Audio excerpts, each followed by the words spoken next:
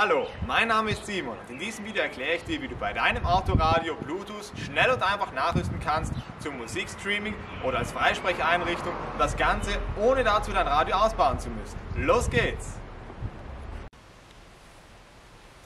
Alles, was du dazu benötigst, ist ein solcher sogenannter FM-Transmitter. Den gibt es beispielsweise bei Amazon zu kaufen und im Prinzip ist das nichts anderes als ein kleiner Radiosender, also man kann sich mit dem Mobiltelefon mit diesem Gerät verbinden und der hat einen Radiosender eingebaut, der dann äh, eben mit dem Autoradio empfangen werden kann.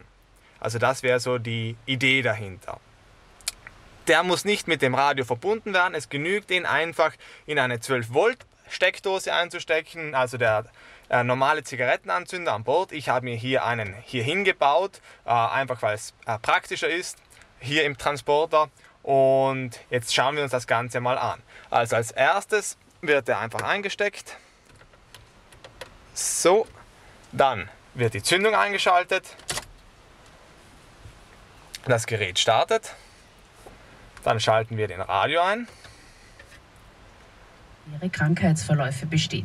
Und jetzt muss man einfach eine Frequenz suchen, die unbelegt ist, also wo nur weißes Rauschen zu hören ist.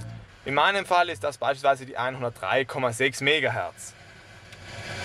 Man hört sehr gut, hier ist nur weißes Rauschen. Diese Frequenz muss dann am Transmitter zusätzlich eingestellt werden als Sendefrequenz. Dazu drückt man hier bei diesem Modell einfach lang auf den mittleren Knopf und wählt die entsprechende Frequenz aus. 103,6. Perfekt. Das Rauschen ist jetzt auch nicht mehr zu hören weil wir hier jetzt äh, das Signal empfangen vom Transmitter. Nun kann man sich eben mit dem Mobiltelefon verbinden, mit dem Gerät. So. Verbindung wird hergestellt. Verbunden. Perfekt. So. Jetzt blinkt hier auch nichts mehr am Gerät, weil es verbunden ist. Und jetzt ähm, kann man ganz einfach beispielsweise auf Spotify gehen. So. Und etwas abspielen.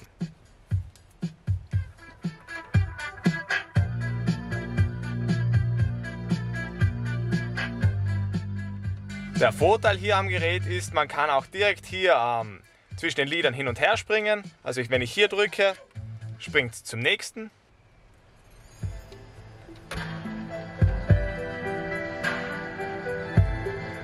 Genauso gut kann man auch hier Play Pause drücken, also einmal hier in der Mitte, dann hält das Lied an und wenn ich noch einmal drücke, geht es wieder los. Ein weiterer Vorteil ist auch die integrierte Freisprechanlage.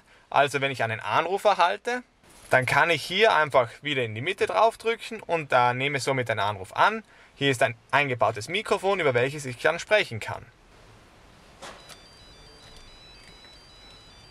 So, jetzt äh, als Beispiel, jetzt erhalte ich gerade einen Anruf, kann hier drauf drücken.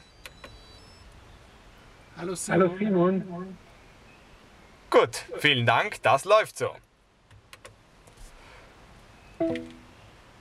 Und recht viel mehr gibt es dazu eigentlich nicht mehr zu sagen. Also wie gesagt, das Gerät kostet circa 15 Euro auf Amazon. Das kann ich wirklich jedem empfehlen, der äh, ein solches altes Radio im Auto noch verbaut hat, mit keiner Bluetooth-Funktion. So kann man das ganz einfach und schnell nachrüsten, mit wenig Aufwand, kann ich wirklich auf ganzer Linie weiterempfehlen. Das war's auch schon. Ich hoffe, ich konnte dir weiterhelfen. Falls es Fragen gibt, einfach unter in die Kommentare schreiben, ich werde sie gerne beantworten. Über ein Abo oder ein Like würde ich mich selbstverständlich freuen. Danke dir!